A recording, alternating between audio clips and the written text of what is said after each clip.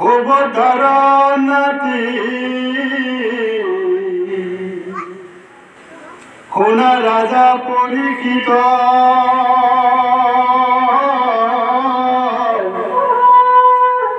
বাসবক যেবে বিত্ৰে গিলিলে ত্ৰিভুৱনে ভল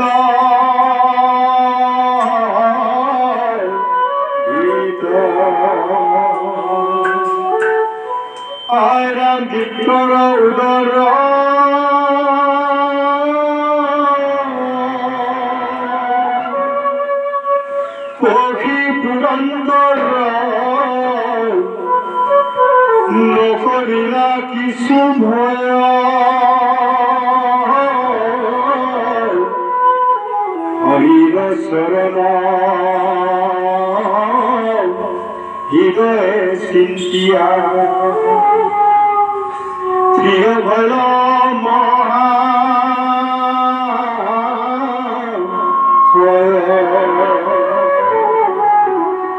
ঘূৰ জমকাল গিলিলে যেন তথাপি নগৈল প্ৰাণ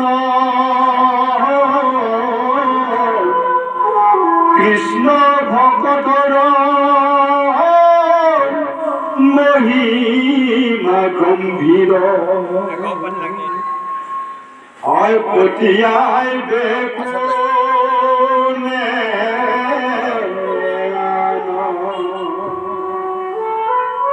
কৃষ্ণক সুমৰি হাতে ব্ৰজ ধৰি ঐৰাৱত কন্ধে চৰি সাগৰৰ সমান উদৰত কৰি পুৰন্ত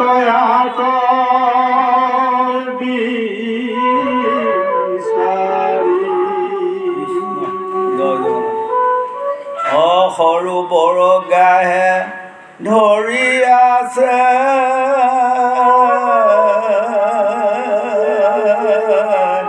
গজেন্দ্ৰ পিয়া পায়া পাছে অ আকাশে গৰুৰ স্কন্ধে ধৰি হৰি দেখি সুবৰ্ণৰ পদ্ম ধৰি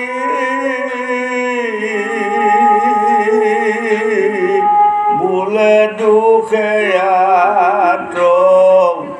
নাদ কৰি নমো ভগয়ন্ত গুৰু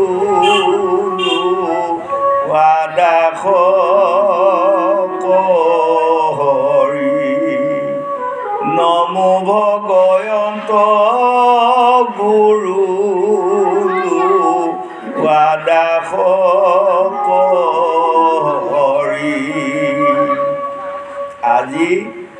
নাৰায়ণ বজাৰ এই পম্পী গগৈ বাসগৃহত মহাভাগৱত অনুষ্ঠানত সমবেত হোৱা সাধু গুৰু বৈষ্ণৱ ভকত ভকতনী যুৱক যুৱতী সবাৰ পাৱধূলি আমাৰ অধুমৰ মাথাত থাকক।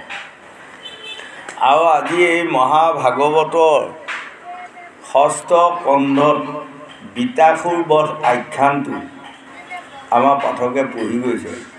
তাৰে আমি অধমে দুৱাষী আপোনাসকলৰ মাজত ভাঙনি কৰি যাম। জানি বা অজানিতে আমাৰ অধমৰ যদি কিবা আকপিচ হয় আটাইকণ আপোনাসকলে শুধৰাই লৈ সবাতিয়ে পাৱধি আমাৰ মাথাত দিব। কাৰণ শাস্ত্ৰই কৈছে হস্তিৰো পিছলে পাও সৰ্জনৰো বুৰে নাও আংক তুমি জানিবা সবাই সেই লোকসকল ডাঙৰ ডাঙৰ হাতীৰো কেতিয়াবা ভৰি পিছল খাই যায়। মহা মহা সজনসকলেও কেতিয়াবা নাও বুৰ খাই যায়। আৰু আমি অধম বুলি কওঁতে কি জানিবা অজানিতে হয়তো আমাৰ এই বাক্য বচনত যদিও কিবা আগপিছ হয় আটাইকণ আপোনাসকলে আমাক শুধৰাই দি দুটি জ্ঞান দিব সবাৰ চৰণতে মোৰ প্ৰণিপাত থাকিল। আজি গংগা পাৰত শোক নিগদতি সুভদ্ৰাৰ নাতি সোণা ৰাজা পৰীক্ষিত। সুখদেৱে কৈছে এইয়া সুভদ্ৰাৰ নাতি ৰজা পৰীক্ষিত। তোমাক মই কথা এটা কওঁ তুমি কাণ দিয়া। তুমি চকু পানী উলিয়াইছা ভাগৱত শুনি শুনি চকু পানী উলিয়াইছা। ভাল তোমাৰ চকু পানীয়েই এসময়ত তোমাৰ সাগৰখনত তুমি ভাঙা নাৱেৰে পাৰ হ'ব পাৰিবা। কিন্তু ভকতিৰ মহিমাটো ইমান অদ্ভুত মহিমা। দেখিছা? লক্ষ লক্ষ দুখ পাপ ভুল কৰিও এই ভকতিৰ দ্বাৰা এই মহাসাগৰখন পাৰ হৈ আত্মাক গতি দিব পাৰিব বিতাসুৰ নামে এটা বৰ ডাঙৰ অসুৰ আছিল। স্বৰ্গ মধ্য পাতাল তেওঁ জয় কৰিলে। সদৌ শেষত ইন্দ্ৰৰ বৰ্জ অস্ত্ৰত তেওঁ প্ৰাণত্যাগ কৰিলে। কিন্তু কৰিও শেষ সময়ত তেওঁ তাৰমানে প্ৰভু ভগৱন্তৰ নাম উচ্চাৰণ কৰাতে বৰ্জ অস্ত্ৰই ডিঙিটো কাটি আছে। তেওঁ কটাক্ষ কৰা নাই কেৱল কৃষ্ণ কৃষ্ণ স্মৰণ কৰি আছে। আৰু বৰ্জ অস্ত্ৰ যে তেওঁৰ ডিঙিটো কাটি পেলালে তেওঁ কিন্তু গমেই পোৱা নাই কষ্ট পোৱা নাই ভাগৰ লগা নাই। ভকতিৰ মহিমা আৰু তেওঁ গতি পালে। গতিকে ৰজা তুমি চিন্তা নকৰিবা তুমি কিয় চকু পানী উলিয়াইছা? এজন স্বৰ্গ মধ্য পাতালত ইমান ডাঙৰ অসুৰে সকলোকে জয় কৰি নানা ৰকমৰ পাপ বিশ্লেষণ কৰিলে বিস্তাৰ কৰিলে কৰিও সদৌ শেষত ঈশ্বৰৰ নাম লৈ আত্মাক গতি দিলে। তুমিতো তেনে হোৱা নাই। তোমাৰ গোটেই জীৱনটো তুমি পাঁচ পাণ্ডৱৰ নাতি তুমি এজন মহান ভক্ত সাধু মহন্ত আছিলা। কিন্তু পলিৰ প্ৰভাৱত পৰি তুমি মতিচন্ন হৈ সৈম্যক মুদিয়ে অপমান কৰাৰ কাৰণে তেওঁৰ পুত্ৰ সিংগীমুনিয়ে তোমাক খাপ দিলে। সপ্ত দিনৰ ভিতৰত দশকে দম শিবু ব্যৰ্থ নহয় মুনিৰ বচন নিশ্চয় ফলিব। অৱশ্যে লাগিব। সাপ কলৈকো নাযায়। হয়নে? সেইকাৰণে স্বামী বিবেকানন্দন দেৱে লিখিছে মনৰ দুখে চান্দালেদি অভিশাপ তাক খন্দাইতে নৰে ব্ৰহ্মাৰ বাপ। মনৰ দুখত যদি কোনোবা এজন চান্দালেও আমাক অভিশাপ এটা দেই তাৰ পৰা মই নিস্তাৰ নাপাম। গতিকে উঠি অহা যুৱক যুৱতী প্ৰজন্মসকল ভাগৱতৰ জৰিয়তে আমি সকলোকে অনুৰোধ কৰোঁ আপোনাৰসকলে কোনোদিনে সাধু গুৰু বৈষ্ণৱ ভকতক নিন্দা সমালোচনা ইটিকিং এনেধৰণৰ বেয়া বাক্য ব্যৱহাৰ নকৰিব। হওক কোনোবা চান্দাল হওক কোনোবা মেলচব প্ৰশ্ন নাই যদি তেওঁলোকে অন্তৰত আঘাত পাই কিবা এটা অভিশাপ দেই ইহকালে পৰকালে নিস্তাৰ নাপাব তাৰ প্ৰমাণ আজি চোৱা পাঁচ বছৰ বয়সৰ সিংগী মুনিয়ে আজি পৰীক্ষিত ৰজাক অভিশাপ দিলে। আৰু হয় সাত দিনৰ ভিতৰত তেওঁ প্ৰশংসা নাগে দংশন কৰিব যে খাটাং গতিকে এই কথাখন কোৱাৰ লগে লগে তেতিয়া পৰীক্ষিত ৰজাই সুখদেৱৰ চৰণত পৰি কৈছিল গুৰুদেৱ বিতাসুৰ ইমান এজন দুদান্ত অসুৰ হৈ তেওঁৰ মুখত কেনেকৈ কৃষ্ণৰ নাম আহিল? আৰু তেওঁৰ জন্ম কি আছিল? পূৰ্বজন্মত তেওঁ কি পুণ্য কৰিলে? আটাইকণ কথা মোক কওক। তেনেহ'লে মই মৃতকৰ সময়ত শান্তি পাম। তেতিয়া সুখদেৱে কৈছে ধন্য ধন্য ৰজা পৰীক্ষিত তোমাক আজি বিতাসুৰৰ আখ্যানটো মই ভকতিৰ আখ্যানটো কৈ যাওঁ আৰু কৈ যাওঁতে এইকেইটা কথা পৃথিৱীত পৰি ৰ'ব। কলিত লোকসকলে যদি এইকেইটা কথা আঁকোৱালি ল'ব পাৰে সেইকেইটা বাক্যৰ দ্বাৰা তেওঁলোকে ইহকালে পৰকালে আত্মাক গতি দিব পাৰিব। হয়নে? গতিকে আমাক ভাগৱতে আজি চাৰি প্ৰকাৰে বুজাব বা বুজাই গৈ আছে।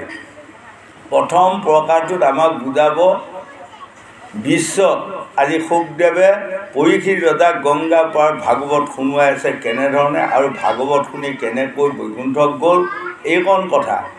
আৰু তাকে আকৌ আমাৰ দেহ মাৰ্গত ভাগৱতে বুজাই গৈ আছে দেহে যিমান ভাগৱতে সিমান ভাগৱতে যিমান দেহে সিমান। মানে ভাগৱতখন পৰমাৰ্থিক তত্ত্ব। আকৌ তৃতীয়ভাগে আমাক বুজাই আছে বা বুজাই যাব ভাৰ্যা পুত্ৰ ল'ৰা ছোৱালী সংসাৰখনৰ মাজত আমি কেনেকৈ ব্যাকুল হৈ হৰিক পাহৰি যাওঁ ধন ধান নাৰী মায়াত পৰি কেনেকৈ আমি ভগৱন্তক পাহৰি যাওঁ ভকতক পাহৰি যায় আমি দুৰ্ঘুৰ বিপদত পৰোঁ এই কথাখিনি আমাক বুজাব।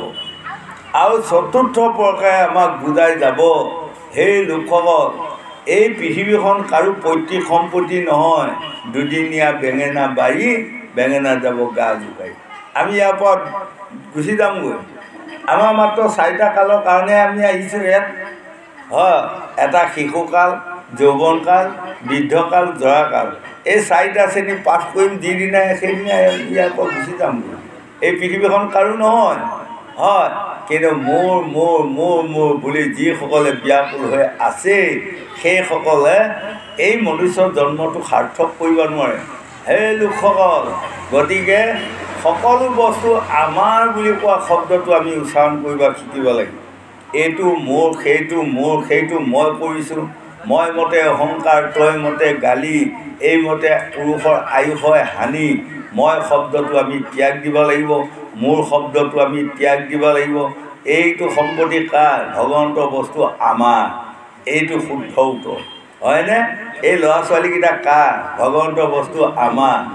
আপোনাৰ ল'ৰা ছোৱালীকেইটা বোলে ভগৱন্তৰ বস্তু জ্যোতি তেনেহ'লে ভগৱন্তে বৰ আনন্দ পায়। কৃষ্ণ ঈশ্বৰ কল্যাণ কৰ শোভাই গতি হওক আইফল বিঘিনি পুণ্য কৰ হয়নে? আৰু যদি মই পোনে পোনে কওঁ কোনোবা এজনে মোক ক'লে আপোনাৰ ল'ৰা ছোৱালী এইকেইটা কাৰ মই যদি পোনে পোনে কওঁ মোৰ বুলি এইটো অশুদ্ধ। হয়নে? এইগৰাকী কাৰ পত্নী? মই যদি পোনে পোনে কওঁ মোৰ পত্নী অশুদ্ধ। ক'ব লাগিব আমি ভগৱন্তৰ বস্তু আমাৰ পত্নীয়ে তেনেহ'লে শুদ্ধ। গতিকে আমাৰ শব্দটো আমি যেতিয়া ব্যৱহাৰ কৰিব শিকিম তেতিয়া ভগৱন্তে আমাক কৃপা নকৰা কোনো অস্ত্ৰ অৰ্থ নাই। কাৰণ ভগৱন্তৰ নাম এটা কৃপাৰ সাগৰ হয়নে?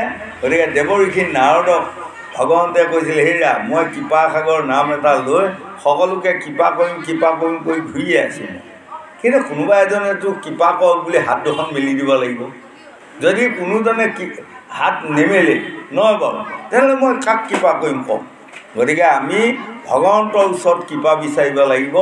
এই পৃথিৱীখনত মনুষ্যৰ জন্ম পাই তেখেতে আমাক কিমান আনন্দ এটা দিছে। ল'ৰা ছোৱালী ধন ধান পুত্ৰ ভাৰজাক লৈ আমি কিমান আনন্দ উপভোগ কৰি আছোঁ। কিন্তু কোনে দিছে? স্বয়ং ভগৱন্তে এইটো শান্তি আমাক দিছে। গতিকে আমি ভগৱন্তক পাহৰিব নাপায় আৰু ভগৱন্তক সকলো বস্তু অৰ্পণ কৰিব শিকক। সেইটোকে কৈছে নিষ্কাম ভকতি এপদ হ'ল সকাম ভকতি একাম হ'ল এটা ভাগ হ'ল নিষ্কাম ভকতি আজি বিতাসুৰ অসুৰ জাতিত জন্ম লৈ শেষ কালত তেওঁ নিষ্কাম ভকতি কৰি কেনেকৈ গতি পালে এইকণ কথা ভাগৱতে আমাক ধুনীয়াকৈ বুজাই যাব। আৰু এইকণ কথা যদি আমি কাণ ভৰি একান্ত চিতে শুনা হয় ইহকালে পৰকালে আমি শান্তি লাভ কৰিব পাৰিম বুলি ভাগৱতে সিদ্ধান্ত দি আছে। গোবিন্দ।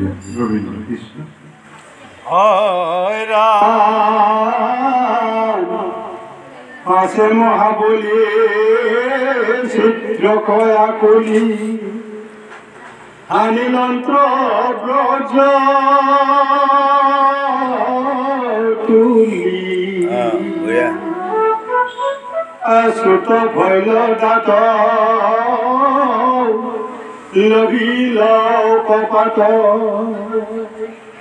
পেলাই লন্ত পেট পালি। আৰাম পাছে কেহি পথে হস্তিয়ে সহিতে আলিলায় ভলন্ত বাজ। আই নাহি সু- সতি সুত শুন উজ্জ্বল বদন। যেন পুন দেৱ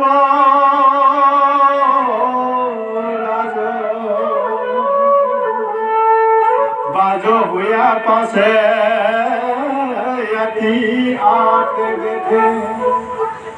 ব্ৰজ ধৰি বলি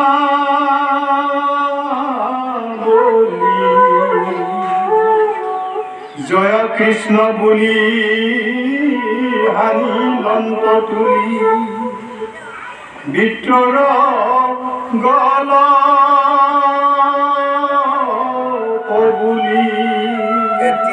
আমাক আজি ভাগৱতে দেখুৱালে চাওক আচৰিত কথা নহয় জানো?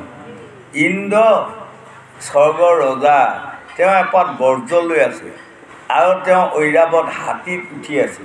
কিন্তু গীতাসুৰ ইমান বলি ইমান ডাঙৰ ইমান বলিষ্ঠ হাতী সমনিতে আজি ইন্দ্ৰক গিৰি পেলালে। হয়নে?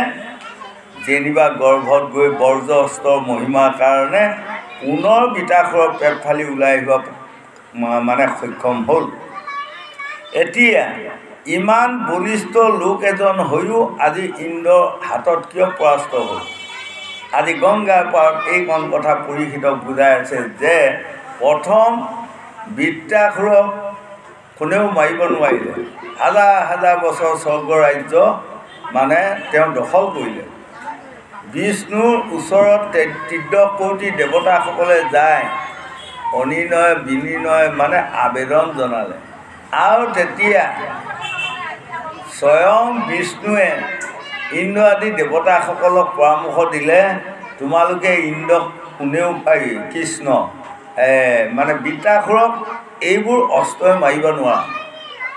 এজন মহা তপশীল ঋষিৰ অস্থি বা হাড়ৰ দ্বাৰা যদি তোমালোকে এপাত বৰ্জ নিৰ্মাণ কৰা তেতিয়াহে তোমালোকে বৃত্তাসুৰক বধ কৰিব পাৰিবা। এই তেতিয়া তেত্ৰিছ কোটি দেৱতাই আহি চিন্তা কৰিলে মৈত্যত ষাঠি হাজাৰ মুনিৰ ভিতৰত আটাইতকৈ তপশীল মুনি কোন?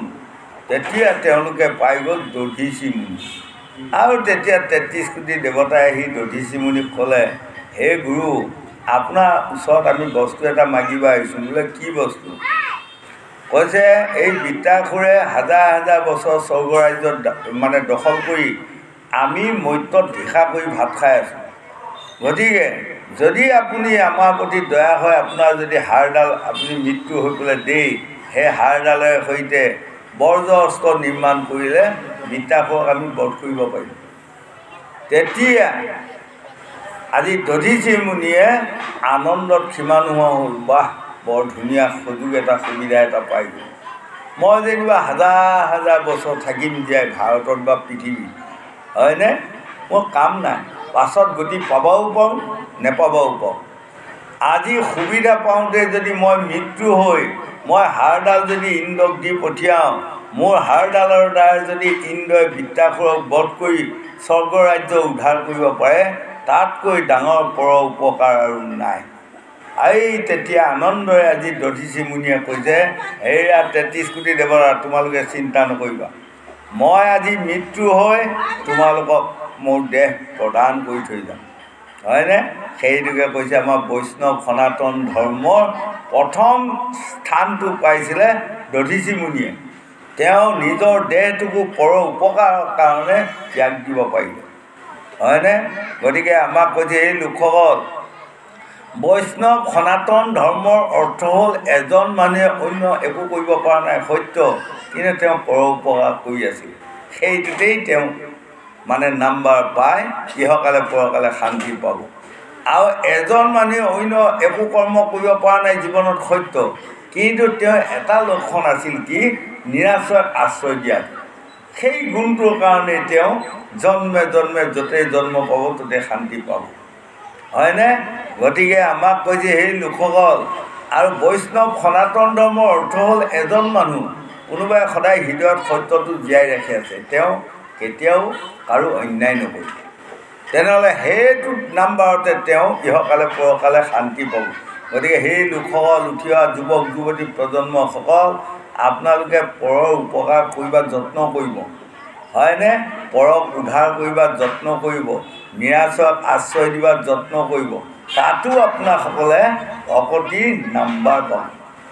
গতিকে ভকতি বুলি কোৱা বস্তুটো আমি অজানিতেও ভকতি লাভ কৰিব পৰা সুবিধা আমাৰ আছে। কাৰণ কাৰ? মনুষ্যৰ জন্ম। মহাপুৰুষ শংকৰদেৱে কীৰ্তনত লিখিছে মানে কুকুৰৰ চিগালৰ গধবোৰ আত্মা ৰাম জানিয়া সবাকো কৰিব পৰা নাম। যিজন মানুহে উৰণ বুৰণ গজন ভ্ৰমণ চাৰিমুঠি জীৱক নিজৰ আত্মাৰ লগত মিলন কৰি সকলোকে ৰক্ষণাবেক্ষণা দিবা জানেই। সেই নাম্বাৰটোতে ইহকালে পৰকালে তেওঁ গতি পাব। এক।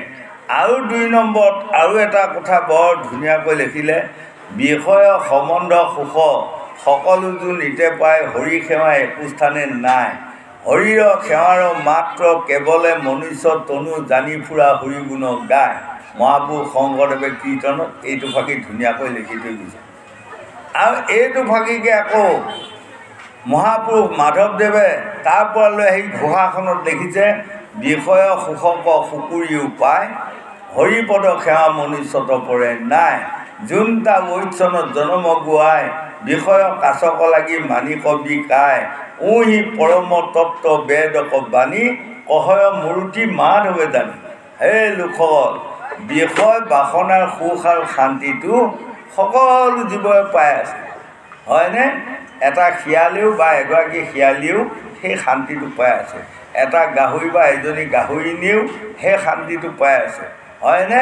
কুকুৰ চিগাল গাহৰিৰ পৰা আদি কৰি সকলোৱে এই শান্তিটো পায়। কিন্তু ভগৱন্তক ভজি যিটো আনন্দৰ শান্তি পায় সেইটো শান্তি মনুষ্যৰ বাহিৰে আৰু কাৰো নাই।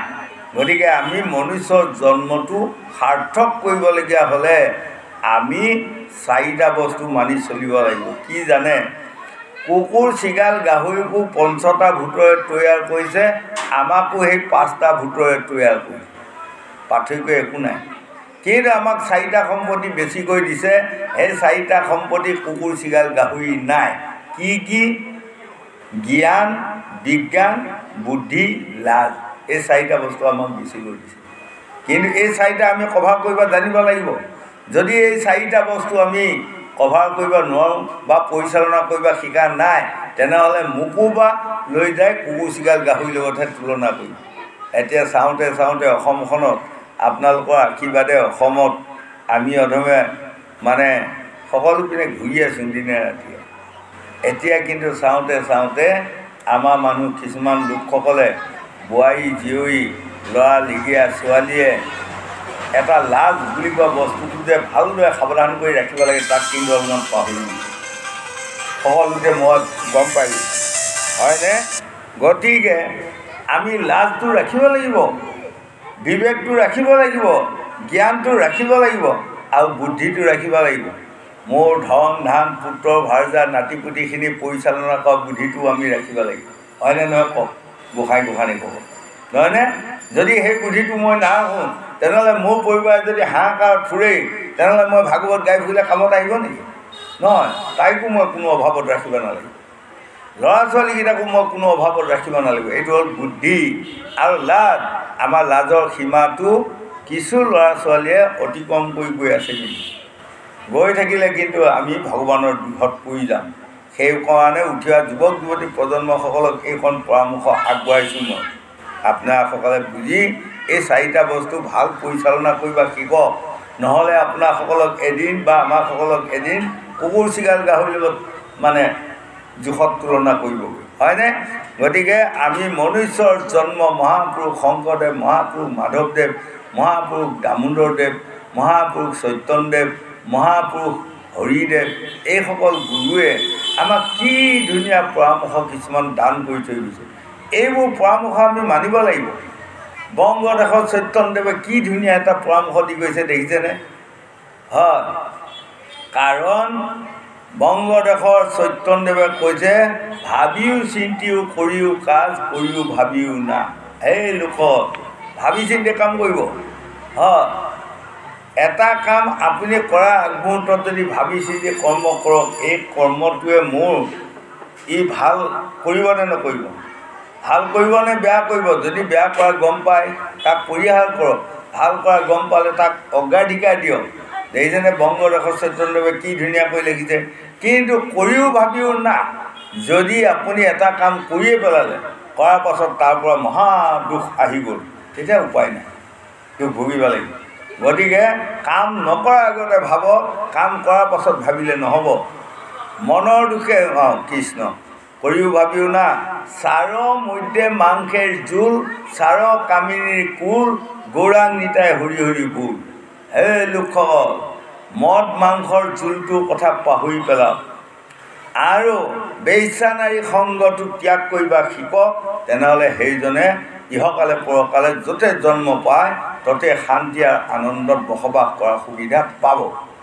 আৰু যদি এই দুটা বস্তুত যিয়েই লিপ্ত হৈ থাকে সেইসকলে মনুষ্যৰ জন্মৰ পৰা অহা জন্মত কিহৰ জন্ম পাব জানে? ৰেহাই নাই। কুকুৰ চিগাল গাহৰি গৰ্ভত জন্ম লৈ বিছটা বৰকচু খাই ফুৰিব লাগিব বুলি চাৰি বেদ চদশাস্ত্ৰ ওঠৰ পুৰাণে আমাক সিদ্ধান্ত দি আছে গোবিন্দ।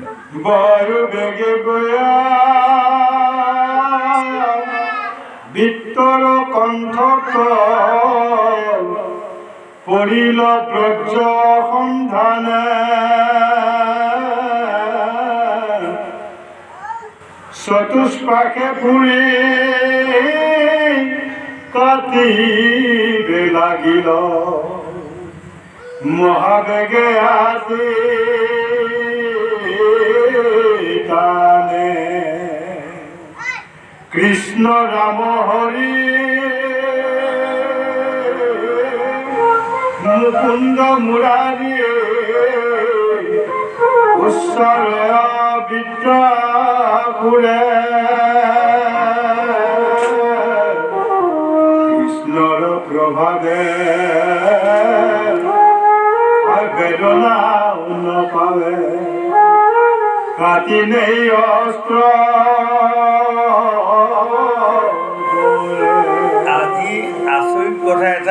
এজন অসুৰ যিজনৰ গাত মানে জ্ঞানৰ তেজ নাছিল যিজনৰ গাত জ্ঞানৰ লক্ষণ নাছিল কেৱল অসুৰ জাতিটো কি খাব লাগে আৰু সকলোৰে লগত লীলা কৰিব লাগে এনেধৰণৰ কিছুমান অসুৰ জাতিটোৰ আছিল।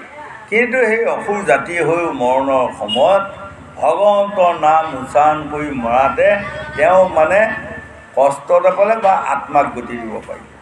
এতিয়া হেৰা ৰজা পৰীক্ষিত আজি গংগা পাৰত শুকদেৱে বুজাইছে চোৱা আৰু দহটা ল'ৰা অজামিল ব্ৰাহ্মণ অন্তত্য পাতকী আছিল এই দহটা ল'ৰাৰ ভিতৰত সৰু ল'ৰাটোৰ নাম নাৰায়ণ ৰাখিছিল যেতিয়া তেওঁ জৰাকালে পালে উঠিব নোৱাৰে বহিলে বহিলে উঠিব নোৱাৰে উঠিলে বহিব নোৱাৰে তেনেকুৱা দুখৰ সময়ত তেওঁ সদায় তেওঁ পুত্ৰটোৰ নাম লৈ অ' উপানাৰায়ণ আহো মোক উঠাই দে অকণমান। অ' উপানাৰায়ণ আহো অকণমান বহুৱাই দে। এনেকৈ নাৰায়ণ নাৰায়ণ বুলি কৈ যাওঁতে যাওঁতে যেতিয়া জমদূৰ কালফুৰা সফুৰা বেং কামোৱা তিনিটা জমদূতে পাক জৰিয়ে বান্ধি লোহাৰ ডাঙেৰে টাঙন দিলে দিয়াৰ লগে লগে ভয়ৰ কোবত আঁতোৰত পৰিহে মাত দিছে অ' বোপা নাৰায়ণ মোক ৰক্ষা কৰ। বুলি কোৱাৰ লগে লগে এই বৈকুণ্ঠত বিষ্ণু বহি আছিল তেওঁৰ আসনখন লৰফৰ হৈ গ'ল। লগে লগে আচৰিত লগে লগে বিষ্ণুৱে তলৰ ফালে চালে। চোৱাৰ লগে লগে দেখেই হা মোৰ এশ আঠটা মুখ্য নামৰ ভিতৰত তেওঁ নাৰায়ণ নামটো ল'লে। লগে লগে চাৰিজন বিষ্ণুদূতক পঠাই দি এই মহাপাপী অজামিলক উদ্ধাৰ কৰি আত্মাক গতি দিয়ালে। ৰজা তুমি চিন্তা নকৰিবা। দেখিছানে? আজি অসুৰ হৈ বিদ্যাসুৰে গতি পালে আৰু মহাপাপী অজামিলেও পুতেকৰ নাম লৈ গতি পালে আৰু শতাংগ ৰজা শতাংগ ৰজা তুমি কিয় ইমান চিন্তা কৰিছা? কিয় চিন্তা কৰিছা? কিয় দুই পিনে চকু পানী ইমান উলিয়াইছা? তেতিয়া পৰীক্ষী ৰজাই কৈছে গুৰুদেৱ মই কোনো মায়াত পৰি ভাৰ্যা পুত্ৰৰ ধন ধান ৰাজ সিংহাসনত চিন্তা কৰি মই চকু পানী উলিয়াম। এটা মই চকু পানী উলিয়াইছোঁ কি কাৰণে জানে? মই যিটো বেয়া কাম কৰিলোঁ তাৰ ফলে শিঙিমুনিয়ে অভিশাপটো দিলে মই আঞ্চল পাতি লৈছোঁ। অকৰ্ম কৰিলোঁ মই মুখ পাইল কালে সেইকাৰণে মৰণ মোৰ মিলোক অকালে মই যেতিয়া বেয়া কাম কৰিছোঁ মোৰ মৰণ মিলাটো ভাল কিন্তু দুখ লাগিছে মোৰ এইটো। তেওঁ যে সাতদিনে মোক সময় দিলে। যদি আৰু কেইটামান দিন বহলাই দিয়া হয় মই আত্মাক গতি দিব পাৰিলোঁ। এতিয়া সাত দিনত মই আত্মাক গতি দিব নোৱাৰিম। মই হয়তো কুকুৰ চিগাল গাহৰি গৰ্ভত জন্ম লৈ বিছটা বৰকচু খাই ফুৰিব লাগিব। এই চিন্তাত মই আজি কান্দিছোঁ। আৰু তেতিয়া সুখদেৱে কৈছিল ৰজা নাকান্দিবা। তুমি ধৈৰ্য ধৰা। শতাংগ নামে এজন ৰজা আছিল। হয়নে? মহান গুণী জ্ঞানী বীৰত্ব পণ্ডিত ৰজা। যেতিয়া স্বৰ্গ ৰাজ্যত জম্বাসুৰে স্বৰ্গ ৰাজ্য কাঢ়ি লয় তেতিয়া তেত্ৰিছ কোটি দেৱতাই গৈ বিষ্ণুৰ ওচৰত শৰণাপন্ন হ'ল। আৰু তেতিয়া বিষ্ণুৱে কৈছিলে মৈত্যলৈ তোমালোকে যোৱা। যাই শতাংগ ৰজা মহাবীৰ মহাপণ্ডিত আছে তেওঁক লৈ আহি স্বৰ্গ ৰাজ্যক উদ্ধাৰ কৰা। আৰু লগে লগে শতাংগ ৰজাক লৈ গ'ল আৰু স্বৰ্গ ৰাজ্যত গৈ সকলো সকলো অসুৰকে বধ কৰা বধ কৰিলে পলাই যোৱা পলাই গ'ল। আৰু সদৌ শেষত স্বৰ্গ ৰাজ্যখন ইন্দ্ৰক মানে মুকলি কৰি দিলে। আৰু দিয়াৰ পাছত ৰাজসিংহাসনত আজি ইন্দ্ৰ বহি কৈছে হেৰা ৰজা তুমি এজন মনুষ্য। মনুষ্য হৈ আমাৰ দেৱতাক যি উপকাৰ কৰিলা এয়া ঋণ মই জন্মে জন্মে পৰিশোধ কৰিব নোৱাৰিম। গতিকে মই প্ৰাণপণে অন্তৰকৰণে তোমাক কৈছোঁ তুমি এটা বৰ বিচাৰ। কি বৰ বিচাৰ? যি বৰ বিচাৰ মই তাকে দিম। তেতিয়া লগে লগে চন্দ্ৰ সূৰ্য বায়ু বৰুণ যিমান দেৱতা আছে সকলোৱে কৈছে মই এটি বৰ দিম। ইজনে বোলে মই এটি বৰ দিম। এওঁ ইমান ডাঙৰ উপকাৰ কৰিম তেতিয়া শতাংগ ৰজাই কৈছে মই এজন সাধাৰণ মনুষ্য। ভগৱানে কৃপা কৰাতে ভগৱানে দয়া কৰাতে ভগৱানে মৰম চেনেহ আদৰ কৰাত মই আজি মৰ্ত্যৰ পৰা আপোনালোকে আনিলে আৰু স্বৰ্গ ৰাজ্য আজি মুকল কৰি দিলোঁ। এইটো এটা মই ডাঙৰ উপকাৰ কৰিলোঁ। আৰু মোক বৰৰ সকলোৱে বৰ দিব সত্য। মই কিমান দিন জীয়াই থাকিম আপোনালোকে চাওকচোন বাৰু মোৰ আয়ুস কিমান আছে লগে লগে দেৱতাসকলে চালে হেৰা ৰজা কথা খবৰ নাই। বোলে কি হ'ল? এই দুই দণ্ড পঢ়ে তোমাৰ বাকী আছে আয়ুস শেষ মৃত্যু। তেনেহ'লে মোৰ বৰৰ প্ৰয়োজন নাই মোক লগে লগে মোৰ ৰাজ্যত নমাই দিয়ক। কাৰণ মোৰ পত্নী এগৰাকী আছে ল'ৰা আছে বোৱাৰী আছে সেইসকলক মই পৰামৰ্শ দি মই মৃত্যুবৰণ কৰিম। লগে লগে ইন্দ্ৰ পুষ্পক ৰথখনত লৈ আহি নিমিষ পৰতে তেওঁ ৰাজ্যত দিলে। আজি এইখন কথা শুকদেৱে গংগা পাৰত পৰীক্ষিতক কৈ আছে। আৰু লগে লগে শতাংগ ৰজাই তেওঁৰ পত্নীক কৈ ক'লে হেৰা পত্নী তুমি মোৰ দয়াৰ গোসানী। তুমি মোৰ দয়াৰ অৰ্ধাংগিনী কিন্তু তোমাক বিয়া কৰোৱাৰ দিনৰ পৰা তুমি ৰাণী হ'লা। তোমাক মই কিমান সন্তুষ্ট কৰিব পাৰিলোঁ আৰু কিমান নোৱাৰিলোঁ মই একোৱেই নাজানিলোঁ। যদিও তোমাক মই তোমাক সন্তুষ্ট কৰিব পৰা নোৱাৰা সকলোখিনি তুমি মোৰ পত্নী হিচাপে মোক ক্ষমা দিবা। মই এতিয়া দুই দণ্ডপৰ বাকী আছে মই মৃত্যুবৰণ কৰোঁ।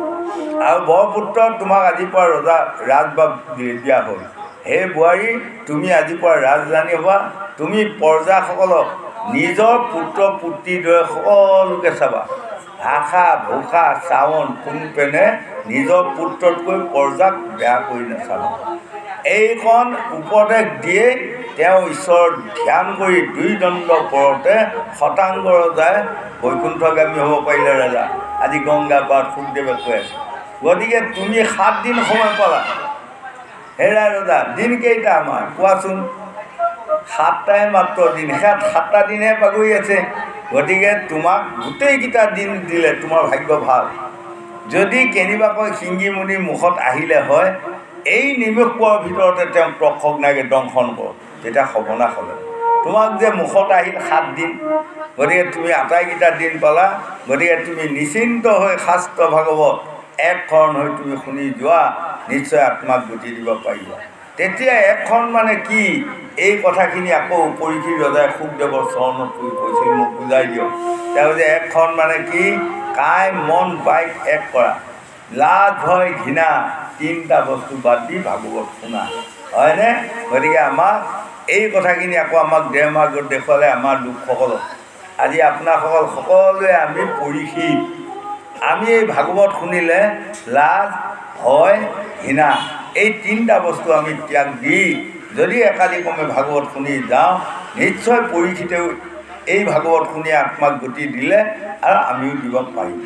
কাৰণ কি পৰীক্ষিতো মানুহ আমিও মানুহ। পৰীক্ষিতে বৈকুণ্ঠক যাব পাৰিলে আমি যাব নোৱাৰা কোনো অৰ্থ নাই। হয়নে? কাৰণ বৈকুণ্ঠখন কাৰো লিপিবদ্ধ কাৰো লিষ্টত থকা নাই। আমাৰ সকলোৰে তাত যাব পৰা ক্ষমতা আছে। কিন্তু বৈকুণ্ঠক যোৱা কুপনটো আমি তৈয়াৰ কৰিব পাৰিব লাগে সেই কুপনটোৰ নাম কি জানে? ভকতি। এই ভকতিকণ যদি আমি তৈয়াৰ কৰা হয় আমি সেই কুপনটোৰ দ্বাৰাই আমি সকলোৱে বৈকুণ্ঠক যাব পাৰিম। জাতি ধৰ্ম বৰ্ণ নিৰ্বিশেষে। হওক কোনোবা চান্দাল হওক কোনোবা মেলচ তাত প্ৰশ্ন নাই। আমি সকলোৱে বৈকুণ্ঠক যাব পাৰিম। আৰু যদি আমি ভকতি দিশত আগবাঢ়িবা নিশিকোঁ নেজানো যত্নও নকৰোঁ তেনেহ'লে আপুনি যেনিবা উচ্চ কুলতে জন্ম ল'লে কিন্তু ল'লেও সেই বৈকুণ্ঠৰ স্থানটো নাপাব। শাস্ত্ৰ ভাগৱতে আমাক বুজাই আছে গোবিন্দ।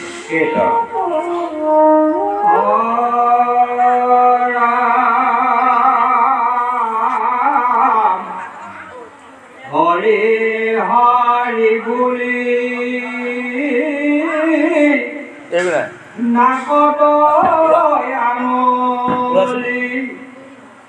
ইয়া খুরমুনি কনে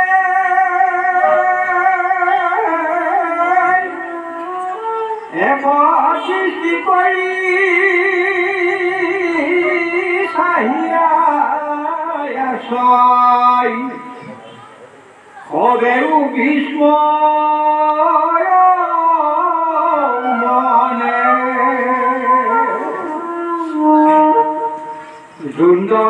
কুণ্ড যেন চক্ৰকাৰে ঘূৰে অলক্ষিতে গতি নকৰি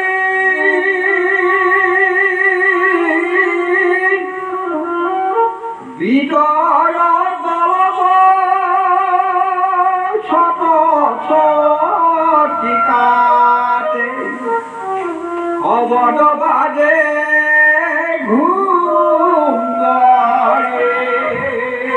এতিয়া আজি এই মৰণৰ সময়টো যে বিতাসুৰৰ ঈশ্বৰৰ প্ৰতি ইমান ভকতি আহিল কাৰণটো কি জানে? সেইকাৰণে আমাৰ ল'ৰা ছোৱালী যুৱক যুৱতী প্ৰজন্মসকল আমি পৰামৰ্শ প্ৰদান কৰিছোঁ। আপোনালোকে সৰুকালৰ পৰা য'তেই যায় ত'তেই অকণমান ভকতি পূৰ্ণ কৰি ফুৰা অভ্যাস কৰকচোন। সেইকণ অভ্যাসে এদিন বিপদত আপোনাক টাৰিব হয়নে? আপুনি যাওঁতে এদিন ক'ৰবাত দেখিলে কোনোবা এজন মানুহ বিপদত পৰিছে পাৰিলে উদ্ধাৰ কৰি থৈ গুচি যাওক। তেনেহ'লে জানিব কোনোবা এদিন বিপদত আপুনি যেতিয়া পৰিব আপোনাকো কোনোবা উদ্ধাৰ কৰা মানুহ এজন ওলায় হয় গতিকে এই বিদ্যাসুৰ হ'ল মানে এসময়ত আছিলে তেওঁ চিত্ৰকেতু ৰজা। চিত্ৰকেতু ৰজাই এক কোটি পত্নী বিয়া কৰিবলগীয়া হ'ল। কি কাৰণত জানে? তেওঁ ল'ৰা নাই ছোৱালী নাই। এই সতী সন্তানৰ কাৰণে মানে তেওঁ সদায় এগৰাকী এগৰাকী পত্নী বিয়া কৰিবলগীয়া আছিল যেনে তেনে ল'ৰা এটি হওক মোৰ যাতে পুত্ৰ এটি হওক ৰাজ্যখন পালন কৰোঁ কিন্তু সদৌ শেষত এইকণ কথা খুব ভালদৰে ক'ব এটি দেৱৰ্ষি নাৰদ আৰু অংগীয়া মুনিয়ে এটি ফল প্ৰদান কৰিলে। ফলটো খোৱাৰ পাছত তেওঁ এটি বৰ ধুনীয়া সন্তান জন্ম হ'ল। কিন্তু সন্তান জন্মটো হৈ চলবলীয়া কালতে। এই বাহিৰা লোকসকল পত্নীসকলে লগ লাগি যেতিয়া তেওঁৰ মানে এই ল'ৰাটো হোৱাৰ পৰা ল'ৰাটো মাক যিগৰাকীক ৰজাই বৰ মৰম আদৰ চেনেহ কৰা হ'ল বাকীসকলক মৰম আদৰ চেনেহ নকৰা হ'ল তেতিয়া এই সকলোৱে লগ লাগি ৰজা আৰু ৰাণীয়ে ক'ব নোৱাৰাকৈ বিষ খুৱাই পেলাই ল'ৰা পোৱালিটো মাৰিলে। মাৰাৰ লগে লগে মানে খুব ৰাণী আৰু ৰজা কান্দি কান্দি ব্যাকুল হ'ল। সেই সময়ত আহি অংগীয়া মুনি আৰু দেৱৰ্ষি নাৰদে ক'লে তোমাৰ ল'ৰা বুলি যে ইমান কান্দি মৰিছা বাৰু আমি জীয়াই দিওঁ। তোমাক কি কয় তুমি কি কোৱা কোৱাচোন? এই লগে লগে যুগ বলে মানে পোৱালিটোক জীয়াই দিলে। দিয়াৰ লগে লগে জীয়া হোৱাৰ লগে লগে ৰজাই যে সাবত মাৰি ধৰিছোঁ হা পুত্ৰ প্ৰথম তুমি আকৌ জীয়া হ'লা। তেতিয়া সেই কেঁচুৱাটোৱে কৈছে কি হেৰা ৰবা ৰবা কাক তুমি পুত্ৰ বুলি কৈছা? কাৰ জগতত কোনে পুত্ৰ হ'ব পাৰে? কাৰ জগতত কোনে পত্নী হ'ব পাৰে? হয়নে? কাৰ স্বামী কোনে হ'ব পাৰে? এয়া পূৰ্বৰ জন্ম কাহিনীয়ে কোনে তোমাৰ মই পুত্ৰ হোৱা নাই তোমাক মই সন্তাপ দিম বুলিহে আহিছোঁ। হয় কি কাৰণত সন্তাপ দিব? এইকণ কথা ক'বগৈ পাছত তেতিয়া গোটেই কথাকণ কৈ লাহেকৈ কেঁচুৱা পোৱালিটো মৃত্যু হ'ল। মৃত্যু হোৱাৰ লগে লগে সেইদিনাৰ পৰা চিত্ৰকেতু ৰজাৰ এনেকুৱা এটা লাগি গ'ল এই সংসাৰখনত ভাৰ্যা পুত্ৰ সকলো মিছা কেৱল হৰিহে সঁচা। হৰিক আৰাধনা কৰি যাওঁতে যাওঁতে যাওঁতে যাওঁতে তেওঁক বিষ্ণুৱে সন্তুষ্ট এখন বিমান প্ৰদান কৰিলে। সেই বিমানখনত স্বৰ্গ মৈত্ৰ পতাল সকলোতে ঘূৰিব পাৰি যাওঁতে যাওঁতে এইকাৰণে আমাক কৈছে যাক ধৰিব কালে তাক ৰাখিব কি ওজা ভালে? এই লোকসকল আমাৰ প্ৰত্যেকৰ হৃদয়ত দুটা বস্তু আছে এটা নাম ভাল এটা নাম কাল। আমি যেতিয়া ভাল কৰ্ম কৰি ফুৰিম ভাল নামটোৱে আমাক উপকাৰ কৰি ফুৰিব ভগৱন্তে। আৰু যেতিয়া আমি বেয়া কাম কৰিম এই কাল ৰূপে আমাক ধ্বংস কৰিব। হয়নে? গতিকে ল'ৰা ছোৱালী যুৱক যুৱতী প্ৰজন্মসকল বেয়া কামবোৰ পৰিহাৰ কৰক। কাল বুলি কোৱা বস্তু এটা আমাৰ হৃদয়ত ভগৱানে লৈ আছে। আমি বেয়া কৰিলে আমাক নাশ কৰিব। হয় এই তেতিয়া তেওঁ গৈ য'ত মানে আজি এই শিৱ লোকৰ পৰা হ'ল এই বুলি শিৱ পাৰ্বতীৰ ওচৰলৈ গ'ল। তেতিয়া শিৱ পাৰ্বতীৰ ওচৰলৈ যাওঁতে এখন ডাঙৰ সমাজ পাতি শিৱই মানে শিৱৰ বাওঁহাতৰ উৰতত পাৰ্বতীক বহুৱাই লৈ তাত মানে তেওঁলোকে মানে সকলোৱে কথা বতৰা আলোচনা হৈ আছে। সেই সময়ত যাই চিত্ৰকেতু ৰজা পালে। চিত্ৰকেতু ৰজাই যাই দেখি ক'লে আপোনালোক জগতৰ ঈশ্বৰ দেৱৰ দেৱ মহাদেৱ। আৰু আপুনি পাৰ্বতী দেৱী। আপোনালোকৰ কিবা লাজ লজ্জা নাই নেকি? এইখন সমাজ কিমান ধুনীয়া সমাজত। আপোনাৰ পত্নী ইপিনে বহুৱাই ৰাখিলে হ'ল। আপুনি এজন দেৱৰ দেৱ আদিদেৱ মহাদেৱ হৈ আপোনাৰ উৰতত পাৰ্বতীক বহুৱাই লৈ আছে। এইবোৰ লজ্জাৰ বিষয়ে এনেধৰণে যাওঁতে যাওঁতে যাওঁতে যাওঁতে বহুত কথা কৈ দি যোৱা শেষত পাৰ্বতী খং উঠি ক'লে তুমি শিৱৰ লোকত প্ৰৱেশ কৰিলা আৰু কৰি তুমি শিৱক নিন্দা কৰিবা ক'ত শিকিলা? গতিকে তোমাক মই আজি সাপ দিলোঁ তুমি মত্যত অসুৰজনীত জন্ম হোৱা। যোৱা। তেতিয়া লগে লগে এই চিত্ৰকেতু ৰজাই কৈছে হে মা পাৰ্বতী আপুনি যিটো সাপ দিলে মই তাক আঞ্চল পাতি লৈছোঁ কিন্তু ময়ো এজন ভকত। মই এতিয়া তোমাক যদি সাপ দিওঁ তুমিও ধ্বংস হ'বা। কিন্তু মই সেই কাম নকৰোঁ। ভকতৰ লক্ষণ নহয়। ভকতৰ গাত কি গুণ আছে? ধৈৰ্য সহ্য ক্ষমা দয়া চাৰিটা গুণ ভকতৰ গাত আছে। গতিকে মই তোমাক সাপ দিম। হয়নে? এই লগে লগে আহি বিতাসুৰ হ'ল। এই পূৰ্বজন্মৰ আজি মানে পৰীক্ষিত ৰজাক কৈছে পূৰ্বজন্মৰ যে তেওঁ ৰজা হৈ যিমান পুণ্য সঞ্চয় কৰিলে সেই পুণ্যৰ ফলত আজি যুদ্ধৰ সময়ত যেতিয়া বৰ্জস্ত্ৰ আহি ডিঙিত প্ৰৱেশ কৰাৰ লগে লগে বা ওচৰত প্ৰৱেশ কৰাৰ লগে লগে তেওঁ মনত আহি গ'ল প্ৰভু ভগৱন্তৰ বাহিৰে কোনো নাই চব মিছা ধন ধান পুত্ৰ বাজা সকলো মিছা ভগৱান সঁচা বুলি আজি ভগৱন্তক আৰাধনা কৰি তেওঁ মৃত্যুবৰণ কৰি আত্মাটো বৈকুণ্ঠক যাব। গতিকে ৰজা তুমি চিন্তা নকৰিবা। এশ আঠটা মুখ্য নামৰ ভিতৰত আমি আমাৰ লোকসকলক পৰামৰ্শ ভাগৱতে দিলে আপোনালোকে খাওঁতে শুওঁতে উঠোঁতে বহোঁতে শয়নে সপোনে কাহে হাঁচিয়ে পৰোঁতে পিছলোঁতে হামিয়ে হিকটিয়ে ভগৱন্তৰ নাম লোৱা অভ্যাস কৰি থাকোঁ। হয়নে? আমাৰ এই প্ৰাণবায়ু অপানবায়ু চৌবিছ ঘণ্টাত একৈছ হাজাৰ ছশবাৰ অহা যোৱা হৈ আছে। তাৰ লগত আমি যদি দুবাৰ এবাৰ ভগৱন্তৰ নাম উচ্চাৰণ কৰা অভ্যাস কৰা হয় এই মৃতকৰ সময়ত আমাক প্ৰভুৱন্তে কৃপা কৰিব। সেইকণ পুণ্যৰ কাৰণে মুখখনত ঈশ্বৰৰ নাম আহিব আৰু সেই নাম অহাৰ লগে লগে আমি য'তে জন্ম পাম ত'তে শান্তি পাম বুলি চাৰি বেদ চদশাস্ত্ৰ ওঠৰৰ পৰা নে আমাক